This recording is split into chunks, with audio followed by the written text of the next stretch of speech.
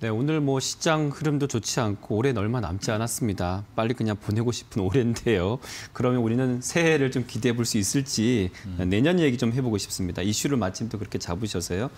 어, 반도체, 뭐 전기차, 뭐 지적재산권 등등 이렇게 좀 언급되고 있는데 어, 그렇게 보시나요? 어떻습니까? 일단 뭐 전문가들의 말이 항상 잘 맞으면 좋겠는데 예, 연말에 나오는 전문가들의 말이 그 다음에 잘 안 맞는 경우가 많이 있습니다. 네. 많이 있는데 대표적으로 슈퍼사이클이었죠, 이 올해. 그렇죠. 예.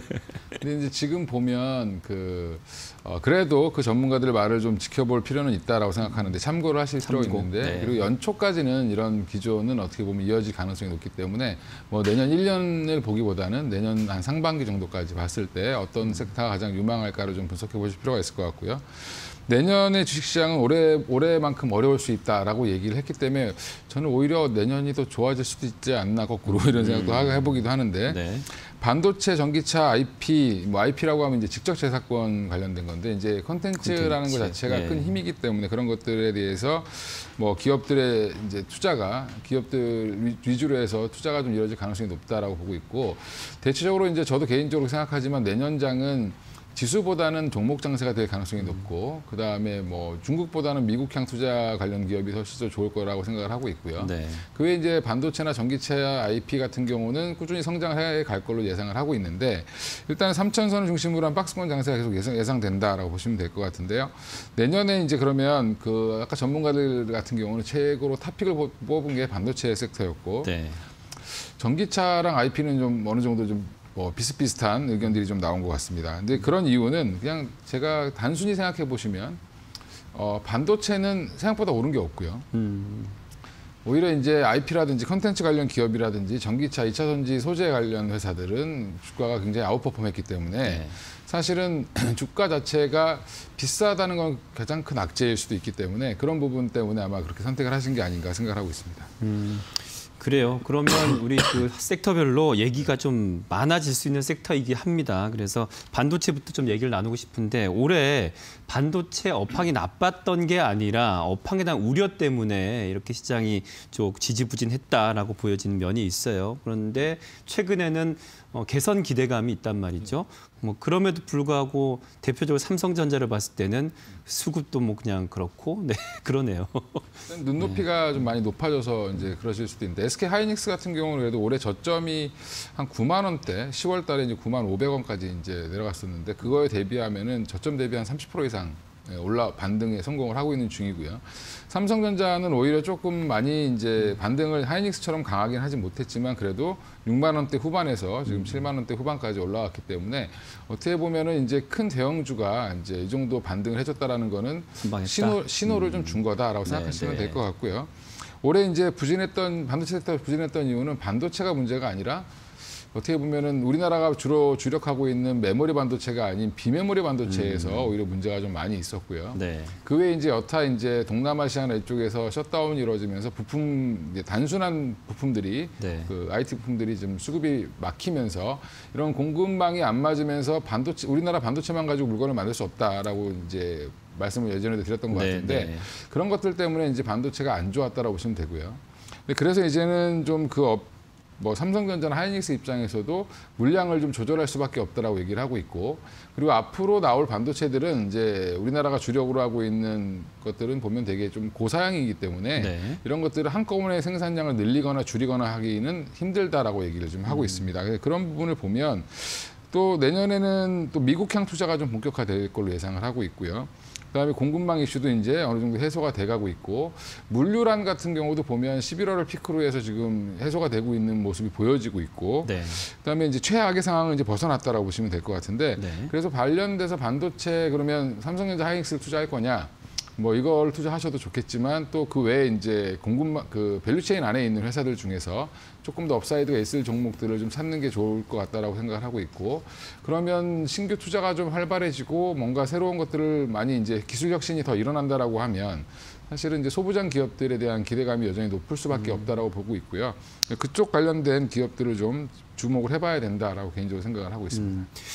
또 앞서 그 출연하신 전문가께서는 또 소부장 안에서도 소, 장비보단 소재 쪽이 좀 더 매력이 있지 않겠는가라고 보셨는데 우리 이 차장님께는 어떻게 보세요? 전 장비 소재 다 괜찮을 둘 걸로 다 보고 있는데. 예, 일단은 뭐 신규 페- 캐펙스 투자도 더 이루어질 걸로 예상을 하고 있고 뭐 이제 미국발로 얘기했지만 사실은 중국은 또 쫓아오는 입장이기 때문에 우리나라 장비들을 좀 많이 필요할 수밖에 없다라는 부분에서는 뭐 양쪽에서 오히려 수혜를 다 볼 수 있는 쪽이 좀 장비라고 보고 있고 소재도 일정 부분 이제 국산화라든지 여러 이슈가 있는 종목들이 많기 때문에 오늘도 이제 동진 세미캔 같은 경우가 국산화에 성공했다는 뉴스가 나오면서 급등하는 모습이 그랬죠. 나왔는데 네.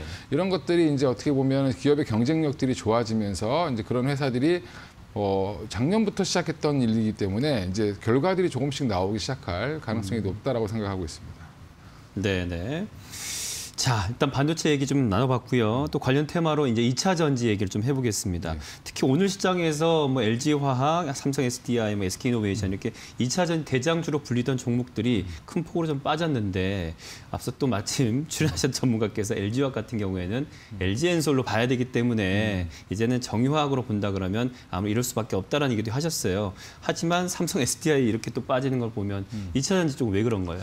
오늘은 그냥 테슬라 영향 테슬라, 정도 네. 생각하시면 될것 같고요. 이제 왜 빠졌냐라는 이유를 우리나라 국내에서 찾기에는 지금 뭐 회사가 하루 사이에 뭐 엄청나게 달라지거나 악재가 있었던 거 아니기 때문에 네. 테슬라의 이제 급락에 따른 어떻게 보면 이제 뭐 조정 정도로 보시면 될것 음. 같고 어, 저는 2차 전지 관련 종, 종목들도 세트 업체도 마찬가지고 소재 업체도 마찬가지지만 일정 부분 소재는 많이 올랐기 때문에 조정이 나오는 게 어쩔 수 없을 것 같고요. 그다음에 이제 세트 업체들 같은 경우는 아직까지는 중국 업체들에 비해서 실적이 현저하게 올라오지 못하고 있기 때문에 아마 그런 기대감 실적이 좀 올라오는 모습이 보인다라고 하면 내년부터는 좀 본격적으로 다시 또 re-rating 될 가능성이 있다라고 저는 개인적으로 생각을 하고 있습니다. 네.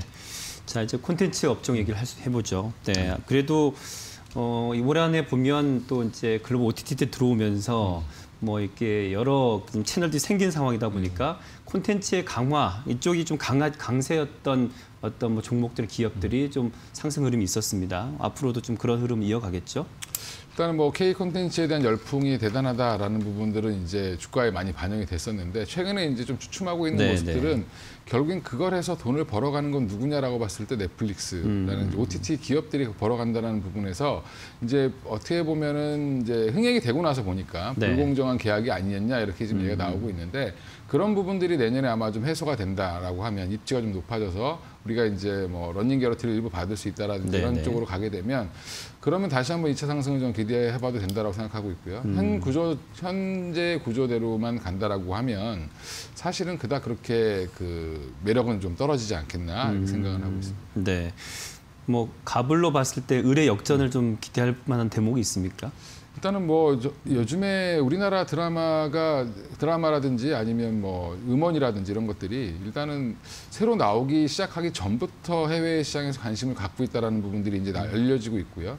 저희는 이제 뭐 BTS가 1위 하는 것만 봤기 때문에 뭐 100위 안에 들었다는 건 뉴스에 나오지도 않죠, 이제. 네. 네, 근데 100위 안에 굉장히 많은 우리나라 이제 뭐그 아이돌 그룹들이 들어가 있는 상황이고 그 외에도 이제 드라마도 보면 넷플릭스에서 1위한 오징어 게임 말고도 뭐 순위권 아래 음, 계속 들어오고 있는 기업 뭐 그 드라마들이 많이 있기 때문에 사실은 이제 아, 한국 드라마는 이제 만들면 어, 손해는 안 보고 이익을 볼 수밖에 없겠구나라는 그런 제작자들의 마인드가 있기 때문에 그러면 어떻게 보면은 을에서 어떻게 보면 을보다 더 좋은 갑이 될 수도 있지 않겠나 이렇게 개인적으로 생각하고 있습니다.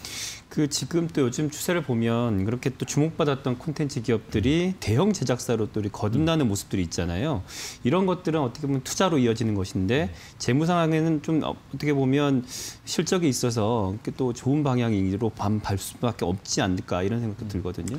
일단 뭐 컨텐츠에 대한 관심이 일단은 일차적으로 불을 지폈고 그 외에 이제 그걸로 이제 돈을 벌기 시작하는 이제 제작사들이라든지 유통사들이라든지 이런 것들이 나오기 시작을 했기 때문에 이제 앞으로는 제작 여건이 더 좋아질 수밖에 없고 여러 OTT가 아직은 경쟁 상황에 있다라고 봤을 때는 오- 콘텐츠 관련 주식이라든지 음원 관련 주식 뭐 아니면 뭐 엔터테인먼트 그 외에도 이제 웹툰이라든지 이제 이런 것들이 계속 확장될 수 있다라는 부분에서는 IP를 어떤 이제 경쟁력 있는 IP를 갖고 있는 회사에 대해서 계속 찾는 노력들은 아마 시장에서 내년에도 계속 이어질 걸로 보이고 있습니다. 네.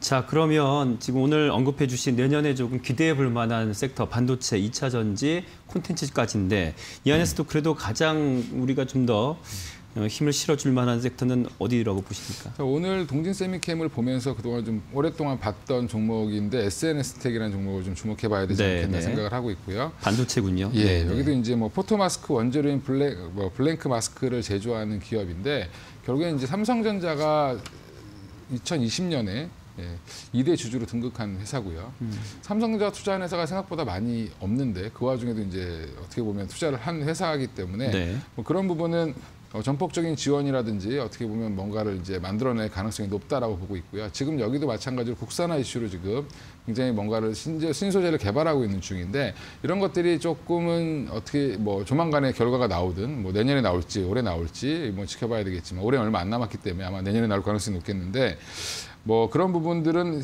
하나의 모멘텀이라고 보시면 될 것 같고요. 그 외에도 이제 이 회사가 하고 있는 이 블랭크 마스크라는 것 자체가 EV, EUV 공정에 가장 많이 쓰이는 거고 EV, EUV 공장 자체가 도입이 확대되고 있는 기조이기 때문에 이거는 국내뿐만 아니라 뭐 대만에 있는 업체라든지 이런 업체들도 다 확대되고 있기 때문에 글로벌리 이런 확대되는 과정에서 SNS 같은 경우는 뭐 양쪽에다 수혜를 좀 입을 수 있는 중화권이라든지 국내에 수혜를 다 입을 수 있는 회사이기 때문에 지금 정도에서는 한번 좀 지켜봐야 될 회사가 아닌가 생각을 하고 있고 뭐 차트도 한번 보시면 굉장히 지금 주봉상 보면 올해는 거의 퍼포먼스를 못 냈습니다. 올해 1월 달이 거의 고점이고 주가는 오랫동안 쉬어, 쉬어 있는 상황이기 때문에 어, 작년에 한 1차 상승이 나왔다라고 하면 올해는 좀 쉬고 내년에는 좀 다시 좀 갈 수 있는 그런 자리가 아닐까 개인적으로 생각하고 있습니다. 네. 자, SNS 텍을 보고 계신데요. 뭐 역시 이 기업도 동진 세미캠과 같이 마찬가지로 EUV 공정 관련해 가지고 모멘텀이 있습니다.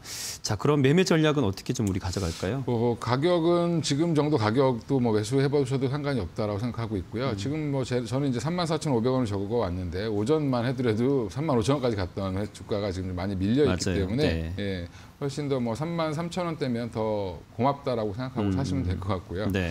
목표가는 이제 좀 길게 보시고 한 5만 3천 원 전고점 부근을 일단 제시를 해드리고 뭐 가벼운 이슈 이제 어떻게 보면 좋은 이슈 하나 가볍기보다는 이 회사가 이제 좀 변화될 수 있는 좋은 이슈가 하나 나온다라고 하면 뭐 충분히 그 가격은 뭐 돌파할 가능성이 높다라고 보고 있습니다. 그래서 손절가는 짧게 한 3만 원으로 제시를 해드리겠습니다. 네.